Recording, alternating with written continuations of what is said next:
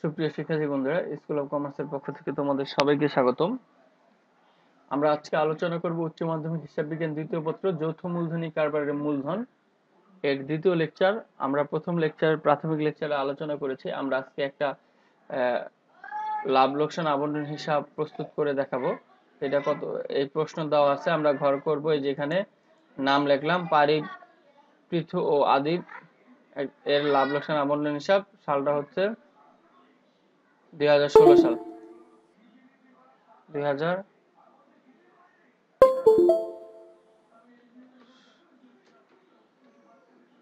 দুই হাজার ষোলো সালের একত্রিশে ডিসেম্বর সমস্ত বছরের জন্য এটা লিখে দিলাম। তো এখন আমরা এরকম একটা ঘর করছি, আমরা এবার প্রশ্নটা পড়তে থাকি। পারিবৃত্তি আদি ব্যক্তি অংশীদারি, ব্যবসায় তিনজন অংশীদার, তারা লাভ, লোকসান, লাভ, ক্ষতি অনুপাতে অনু অনুপাতে বন্টন করে নেয় দুই সালের পহেলা জানুয়ারি তারিখে তাদের মূলধন। তাদের মূলধন ছিল যথাক্রমে এক লাখ পঞ্চাশ হাজার, এক লাখ এবং এক লাখ পঁচিশ হাজার। অর্থাৎ তিনজন অংশীদার, নাম হচ্ছে পারি, পিথু এবং আদিব। একটি অংশীদার, ব্যবসায়, তিনজন অংশীদার। তারা তাদের লাভ ক্ষতি এই অনুপাতে বন্টন করে নেয়। অনুপাত দেওয়া আছে এটাতে হ্যাঁ? টু ইস টু এক ইস টু এক। বর্ণন করে দুই হাজার ষোলো সালের পহেলা জানুয়ারি তারিখে তাদের একজনের মূলধন ছিল এক লাখ পঞ্চাশ, একজনের ছিল এক লাখ, একজনের ছিল এক লাখ বিশ। চুক্তি অনুসারে অংশীদারগণ মূলধন এবং উত্তোলনের উপরে পাঁচ পার্সেন্ট এবং দশ পার্সেন্ট হারে সুদ পাবে। মূলধনের উপরে দশ, উত্তোলনের উপরে পাঁচ পার্সেন্ট সুদ পাবে। আদিব সার্বক্ষণিক দায়িত্ব পালনের জন্য প্রতি মাসে দুই হাজার টাকা করে বেতন পাবে। অংশীদারগণ বছরের মাঝামাঝি সময়ে নগদ উত্তোলন করে পনেরো হাজার, বিশ হাজার, চব্বিশ হাজার। অর্থাৎ একজন পনেরো হাজার, একজন বিশ হাজার একজন চব্বিশ হাজার।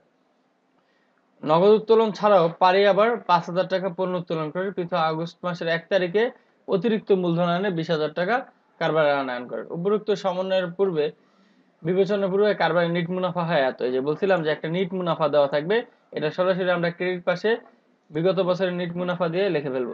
নিট মুনাফা ছিল দুই লাখ পঞ্চাশ হাজার টাকা। লিখে ফেললাম। শেষ। এবার আমরা উপরে থেকে পড়া অঙ্কটা শুরু করে দেবো। এত এত এত মূলধনের সুদ। এ পর্যন্ত বললাম মূলধনের সুদ কোন পাশে আসে?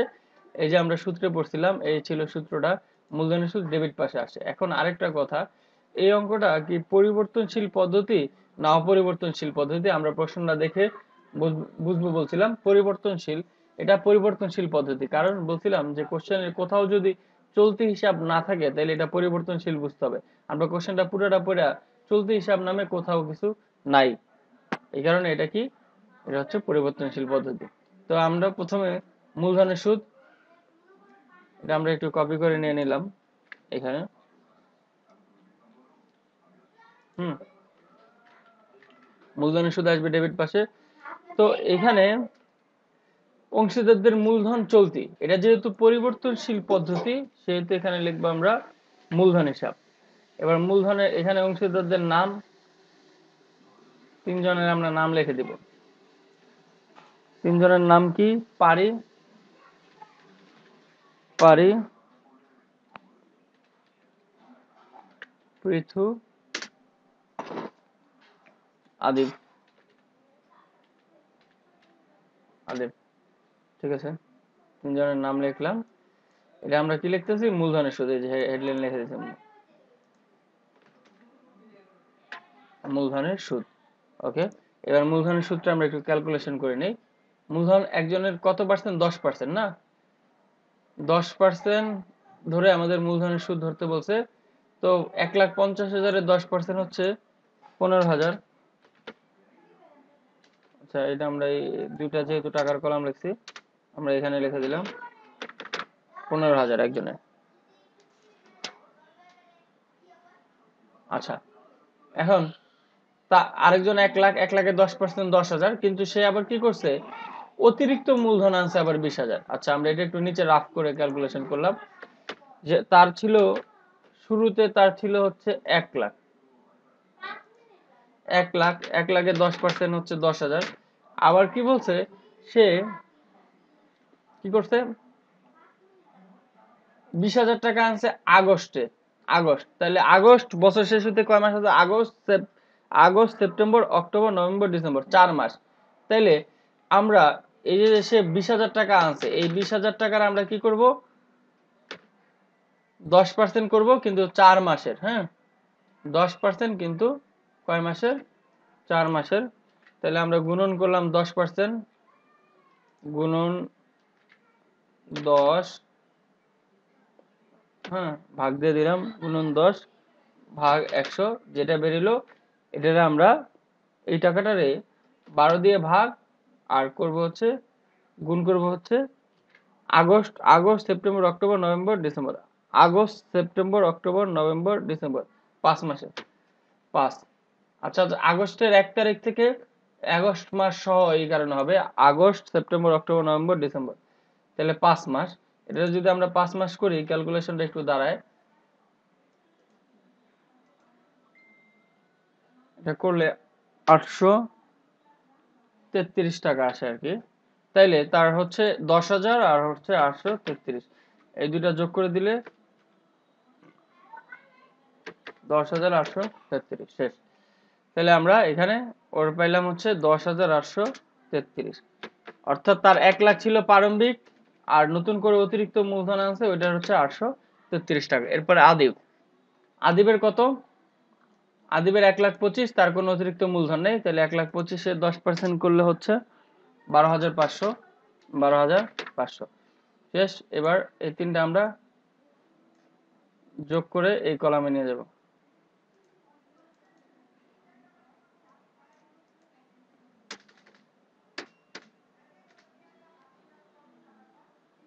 যোগ করলে আট, আটত্রিশ হাজার তিনশো তেত্রিশ, শেষ। তিনশো তেত্রিশ। আচ্ছা এবার প্রশ্ন করি, মূলধনের সুদ লেখা শেষ। এবার কি? উত্তোলনের সুদ। মূলধন ও উত্তোলন। তাহলে উত্তোলনের সুদ আসবে সূত্র অনুযায়ী উত্তোলনের সুদ হচ্ছে ক্রেডিট পাশে হ্যাঁ? আচ্ছা এই যে উত্তোলনের সুদ ছিল ক্রেডিট পাশে। আমরা এই যে উত্তোলনের সুদ হ্যাঁ?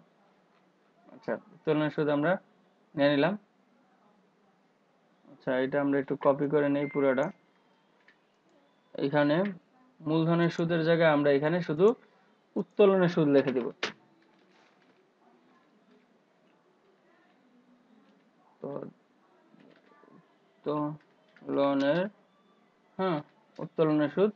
আচ্ছা উত্তোলনের সুদ কত আছে? উত্তোলনের সুদটা আমাদের ক্যালকুলেশন করতে হবে। আচ্ছা দেখেন, উত্তোলনের সুদের আমরা কিন্তু সূত্র পড়ছিলাম, এই যে উত্তোলনের সুদ। প্রতি মাসের শুরু মাঝামাঝি এরকম একটা দেওয়া থাকবে আর একটা হচ্ছে বার্ষিক। অর্থাৎ কোনো মাঝামাঝি যদি বলে, অথবা কোনো নির্দিষ্ট টাইম না থাকলে ছয় মাসের সুদ ধরতে হবে। ঠিক আছে? এখন আমরা এই প্রশ্নে দেখি, এই প্রশ্নে কিন্তু অংশীদারগণ বছরের মাঝামাঝি, অর্থাৎ কোনো নির্দিষ্ট টাইম দেওয়া নাই, অথবা মাসের শুরু বা শেষ এগুলিও বলা নেই। তাহলে এটা হচ্ছে গড় নিয়মে ছয় মাসের সুদ ধরতে হবে, ছয় মাস। তাহলে আমরা পনেরো হাজারের যদি আমরা পাঁচ পার্সেন্ট করি, পনেরো হাজারের পাঁচ পার্সেন্ট দশ পার্সেন্ট হচ্ছে পনেরোশো, পাঁচ পার্সেন্ট হচ্ছে সাত হাজার পাঁচশো। সাত হাজার পাঁচশোরে আমরা অর্ধেক করে দিব। অর্ধেক করে দিলে সরি সাতশো পঞ্চাশ। পনেরো হাজারের দশ পার্সেন্ট করলে পনেরোশো হয় অর্ধেক করলে হয় সাতশো পঞ্চাশ। সাতশো পঞ্চাশ মানে পাঁচ পার্সেন্ট করলে সাতশো পঞ্চাশ হয়। এটা আমরা কোনো কিছু বলা নাই দেখে গড় নিয়মে ছয় মাসের করব। ছয় মাসের করলে এটা দাঁড়ায় হচ্ছে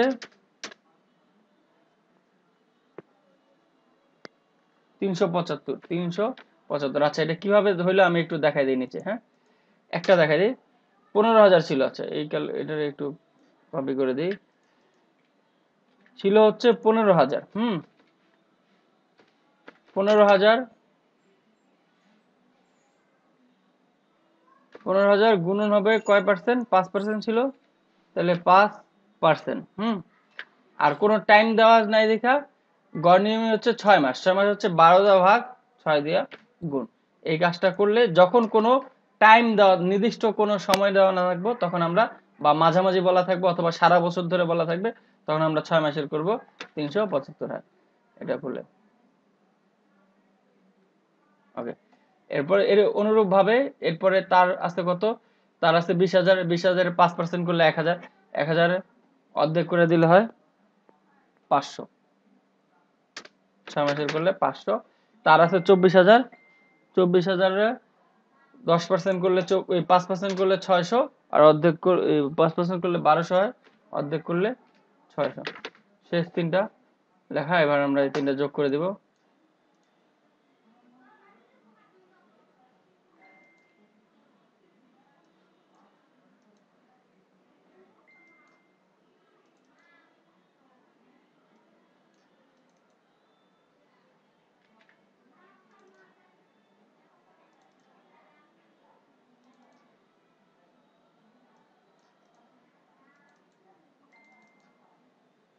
তিনটা যোগ।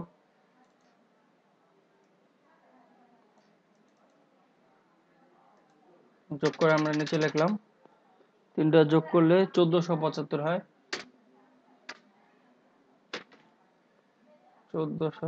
এক হাজার চারশো পঁচাত্তর। শেষ। এক হাজার চারশো পঁচাত্তর লিখে দিলাম। উত্তোলন শেষ। এরপরে বলছে, এছাড়াও সে একজন পণ্য উত্তোলন করে, পারি। পারি কি করে? পণ্য উত্তোলন করে। এখন একা, পণ্য উত্তোলন কিন্তু তিনজনে করে না, একা করছে। তো একা করলে তখন আর আমরা অংশীদারদের মূলধন লিখব না। কোনো জিনিস যদি সে একা করে বা একা পায়, তখন আমরা লিখব সরাসরি ওনার নাম। পারির মূলধন হিসাব, ব্র্যাকেটে লিখে দিব পণ্য উত্তোলন। ব্র্যাকেটে যেটা থাকবে সেটা। যদি বেতন থাকতো তাহলে বেতন।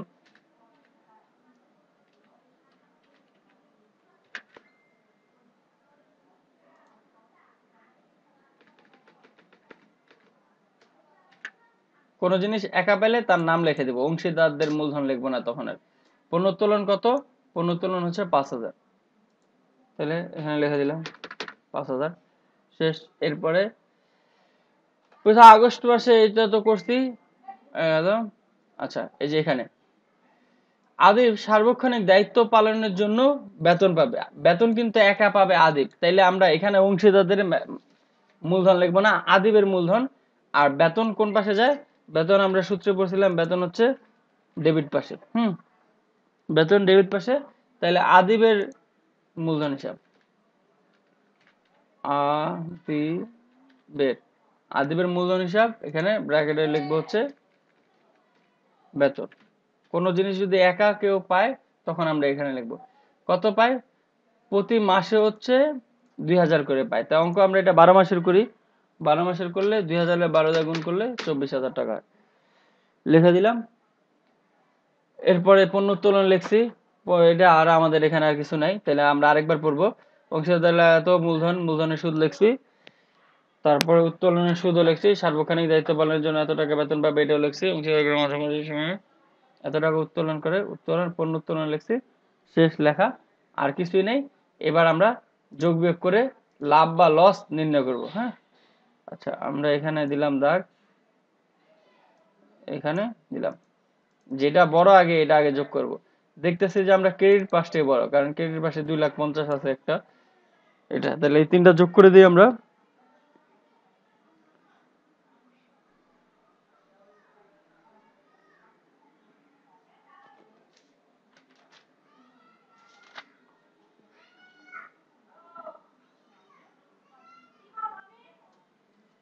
যোগ করে দিলে দুই লাখ পঞ্চাশ, পঞ্চান্ন, ছাপ্পান্ন। দুই লাখ ছাপ্পান্ন হাজার, দুই লাখ ছাপ্পান্ন হাজার চারশো পঁচাত্তর। চারশো পঁচাত্তর যোগ করে দিলাম। তো এই এটাই বড়। তাহলে এই ক্রেডিট পাস বড় হলে হচ্ছে মুনাফা হয়েছে। আর ডেবিট পাস বড় হলে ক্ষতি হয়েছে। এটা লিখে আমরা এখানে দুটা দাগ দাগ ক্লোজ করে দিলাম।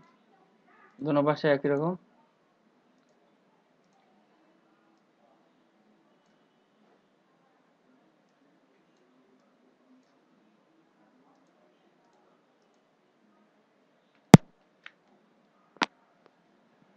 এবার যেহেতু মুনাফা হয়েছে ক্রেডিট পাস বড় হলে মুনাফা, তাহলে আমরা এখানে লিখব অংশীদারদের মূলধন হিসাব ব্র্যাকেট লিখব মুনাফার অংশ।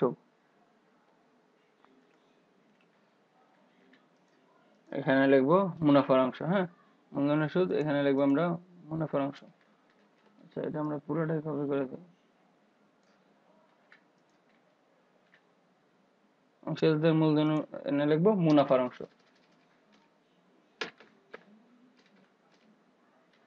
মুনাফার অংশ। তো এই মুনাফা কত হয়েছে এটা আগে আমরা বের করি? এই যে এখানে যে টাকা হয়েছে, দুই লাখ ছাপ্পান্ন হাজার।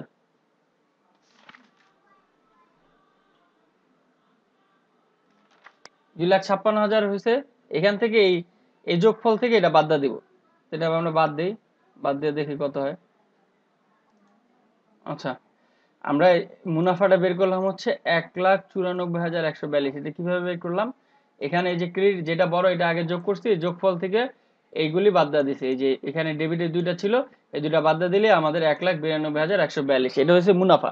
এই এক লাখ বিরানব্বই হাজার একশো বিয়াল্লিশ আমাদের তিনজন অংশীদার, এই তিনজন অংশীদারের মধ্যে আমরা কি করে দিব? ভাগ করে দিব, এই যে যে অনুপাতটা দেওয়া আছে এইটা। তো আমরা এখানে একটু রাফ করি। হুম। মুনা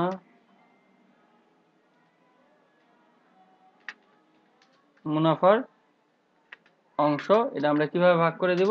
এখানে হচ্ছে কয়জন অংশীদার আছে? তিনজন। আর অনুপাত টু ইস টু এক ইস টু এক। তাহলে ইস টুরা টু ইস টু এক ইস টু এক, এটা ছিল। তো এটারে আমরা কি করব? ইস টুটা উঠাই দিয়ে এখানে প্লাস চিহ্ন দিয়ে দেবো। প্লাস এবার দুই দুই যোগ চার, যোগ করলে কত হয়? চার। চার, ঠিক আছে? এবার অংশীদার তিনজনের নাম লিখে আমরা হ্যাঁ? কি আছে? পারি পৃথু আর হচ্ছে আদিব। সেখানে নাম লেখাই আছে। আমরা কপি করে দিয়ে দিই।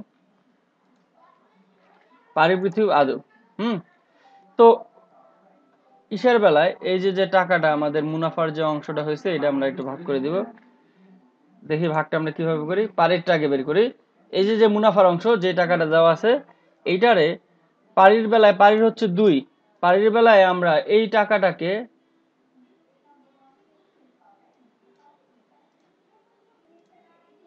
পারির বেলায় আমরা এই যে যে টাকাটা, মুনাফার যে টাকাটা হয়েছে এটারে আমরা চার দিয়ে ভাগ করব। মানে এই যে যোগফলটা, ভাগ করব হচ্ছে চার দিয়া, ভাগ করব চার, আর গুণ করব হচ্ছে এই যে দুই।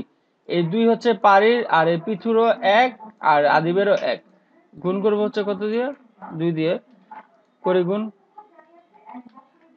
দুই। শেষ। ওকে, এটারে যদি আমরা করি ক্যালকুলেশন, তাহলে কত হয়?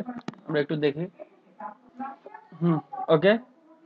এই যে আমরা পাইলাম হচ্ছে সাতানব্বই হাজার একাত্তর টাকা। এটা কীভাবে পাইলাম? আবার বলতেছি, এই পারের প্রথম অনুপাতটা ছিল পারের দুই। তো এই তিনটা আমরা অনুপাত উঠাই দিয়ে যোগ চিহ্ন দিলে চার হইল। চার দিয়া ভাগ, আর হচ্ছে যার যে অনুপাত ছিল দুই দিয়া গুণ। তাহলে আমরা এর পরের বার, পরেরও এইটার আমরা কি করব? এইটারে আমরা চার দিয়ে ভাগ করব, কিন্তু গুণ করব হচ্ছে এক দিয়া। কারণ হচ্ছে পৃথুর অনুপাত হচ্ছে এক। তাহলে এক দিয়ে গুণ করার ফলে এটা হয় হচ্ছে আটচল্লিশ হাজার পাঁচশো পঁয়ত্রিশ। আটচল্লিশ হাজার পাঁচশো পঁয়ত্রিশ। এরপরে ওর ওর পরের জনেরও কিন্তু এক, তাহলে ওরও একই রকম হবে। ওরও সেম তাহলে আমরা এটা কপি করে বসাই দিলে এই কাজটা আমরা রাফ করে দেখাই দিব। শেষ। এবার শুধু যার যত অ্যামাউন্ট বেড়েছে এটা আমরা উপরে লিখে দিব। ওর বেড়েছে হচ্ছে সাতানব্বই হাজার একাত্তর। সাতানব্বই হাজার একাত্তর আর আরেকজনের বেড়েছে হচ্ছে আটচল্লিশ হাজার পাঁচশো পঁয়ত্রিশ। আটচল্লিশ হাজার পাঁচশো পঁয়ত্রিশ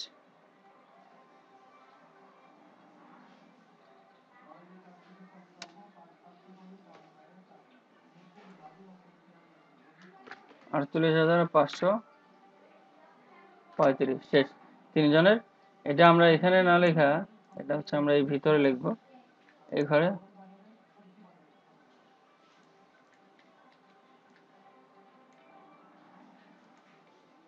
পারে পৃথু।